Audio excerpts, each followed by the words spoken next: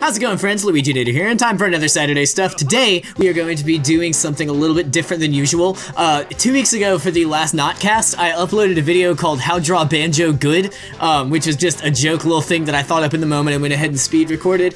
Uh, but a lot of people commented and saying, hey, I'd actually like to learn how to draw banjo. So that's what we're gonna do here today, friends. So without further ado, let's get to it. As you can see here, I have Photoshop pulled up. Photoshop is my preferred thing to draw in, but you can obviously, you know, replicate this process process than just about anything else. One important thing that's also to note, I can draw Banjo not from reference. I could not always draw Banjo not from reference, and as proof, I have my reference folder. I have reference folders for bunch of characters that I like to draw, but Banjo's is one of the more fleshed out ones, and you can see I have it from all ridiculous angles, including the front-facing one that everybody likes to make fun of. I have it from different dynamic poses. I have stuff that's just the head for different expressions. Because you have one here where his mouth is open a little bit, and it's from kind of a top-down angle. You have this one where his mouth is closed, closed, and then this one from almost the same angle where his mouth is open a little bit again. It's important to have reference images, especially when you're first learning how to draw a character. Don't be ashamed to use references, because you know who uses references? Every single professional artist, everywhere, that I've ever spoken to and ever met. They may not be, you know, like, I don't have to use a reference for Banjo every time I draw him now, but absolutely I did when I first started drawing. I wouldn't be able to draw Banjo like I can now if I hadn't used references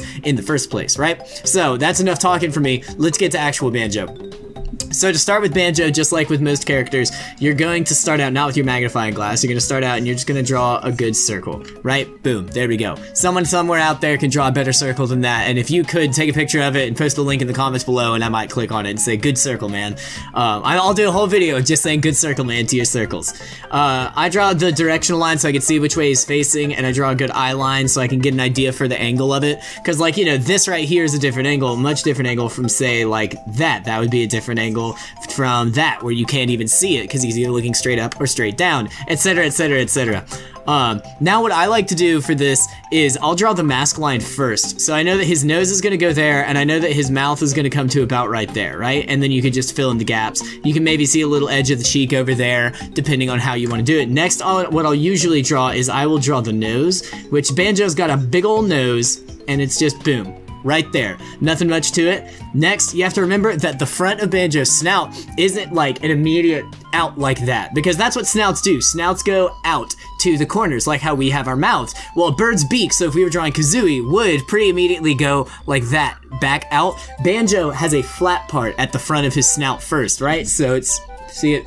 I don't know, I've never drawn these before, so I'm trying my best. But you can see it'd be a little flat right there at the front, right? So we have to draw, I draw this center line to remind myself of that right there.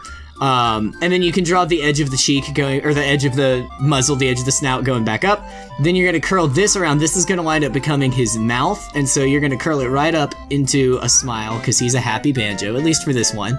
Uh, then you can draw the chin coming down around under. Remember that when you think of the chin, don't think of it as being just this curve that just happens to go under there because that's where it goes. You have to think about things 3D, you have to think about how things would be if they were actually in front of you. So if Banjo was actually here, he would have a jaw that's like our jaw, where it it's you know one is over here but you can't necessarily see it right now but you can follow the path around. So when you draw this jaw what I like to usually do is I like to usually think okay well it would come around and connect right about over there. And that can sometimes help you get just the right spot to make it look just right. I'm kind of a perfectionist when I draw stuff which is why I didn't draw for a while. Do not recommend it. Um, and so I like to think about things like that uh, next, Banjo's nose rests on a little bit of a hill, and so you can see just the edge of that hill right here, which is, if you go look at the 3D models a lot, you'll see the little line that I'm talking about. Next, we'll draw the eyes. Rareware characters are known for their big eyes, so we're going to draw Banjo with some big old peepers right here, baby boom, and boom. Now, one thing that I think about when I draw Banjo is that his eyes, you know, pop out a little bit, right? So for the faraway eye, the cheek might cover, or the, the bridge of the nose might cover it, it might not, depending on the angle. Usually I think it would, but this eye, you would be able to see over the bridge. And we can do more details of that when we're talking about outlining and stuff like that, right? We'll come back and do the pupils. I know it'll look a little bit creepy for right now, but we're gonna leave the pupils gone for now. Um, next, we're gonna go ahead and draw his hair. Banjo just has really easy flippy dip hair coming right off the top, right there. Bing, bang, boom.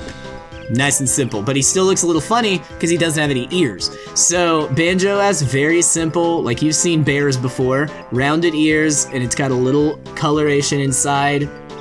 Just like that. Now, Banjo and Kazooie don't have eyebrows. They are usually drawn with eyelids, and so if you want, you can come in and do like a little eyelid like that. I'm not going to. I like to have the big expressive eyes. I think it reflects the N64, that, that big uh, Rareware style eye really well. And so I like to keep it, you know, no eyelids, just open unless I'm doing a specific mood. Um, but what you can do is you can draw uh, the, the, the top of where the brow would be, like where that skull crests, the cranium above the eye crests right there. And so you can draw the line about where that would be. You can even see that over here, because think about it, a skull will dip, right, you can see it on this one, will dip in a little bit right there. So you can think about that happening behind this big bulging eye, and so you can draw that coming out a little bit right there. And even that right there makes it appear just a little bit more, if that makes sense.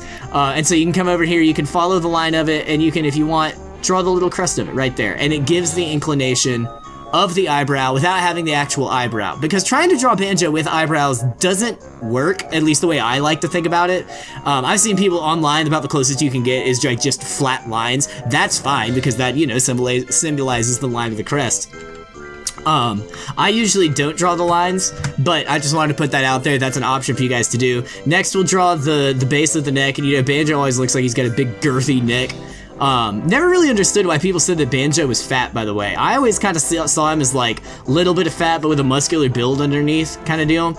Right? Now we can go back in and we can draw the pupils now that we're at the end. And we'll just come in here and we'll draw a circle, smaller circle, on both of them and then we'll surround that circle with a bigger circle. Because Banjo has some bright blue eyes. It will usually almost completely fill the left eye. Um, that threw me off for a while, because I always thought, oh, well, it has to have some white space. No, it doesn't. I promise you do not have to have that white space, alright? I'm white enough for that to make up for that white space. Haha, that's a funny joke. Like and subscribe. So anyway, yeah, that's that's the basic process for when I draw Banjo. You can come in here and you can draw like the little outline of his nostrils, and you can draw the other one curling around the other side if you want. Again, eyebrows optional, you don't have to have them, you can have them, stuff like that. And that's really the basic of it. You know, I can do another video if y'all want to learn how to do bodies. I know the last one really just joked about the head.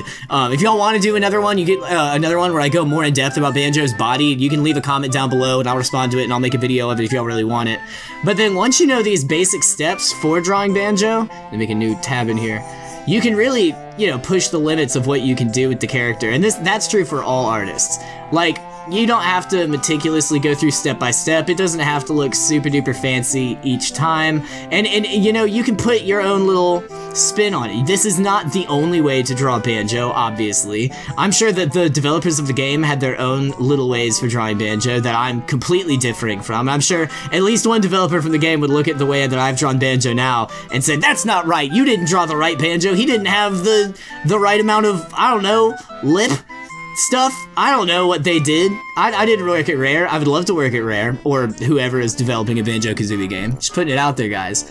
Um, but yeah, you can really push it. You can really do some some crazy wacky stuff. Banjo and Kazooie are very wacky characters, which is that's that's part of why I like them so much in Smash, is because they have that wackiness still a part of them um, with all the like you know the, even from their announcement trailer the cartoon sound effects that accompanied them with that kind of stuff and then like you can come in here and you can draw the eyebrows going up if you want the little crest move it around just like you would an eyebrow the, the important thing when I say an eyebrow doesn't look right I mean like if I wanted to do like an eyebrow like that I don't know, it just looks weird on Banjo to me. It kind of looks like Tigger almost, like Tigger's eyebrows. And it just doesn't, it doesn't feel right. It doesn't gel well for me in my eyes.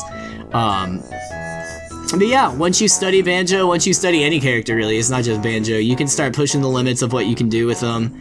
Um, you can start drawing them from funkier angles. I can go ahead and draw him real quick here from a, a side angle where he's maybe looking up at something, he sees something up there. When we can have him making a, a dumb face, like he's just going like that. That's one of my favorite faces to draw characters as. I've done at least one thumbnail has that uh, with me and my buddies from the podcast, right?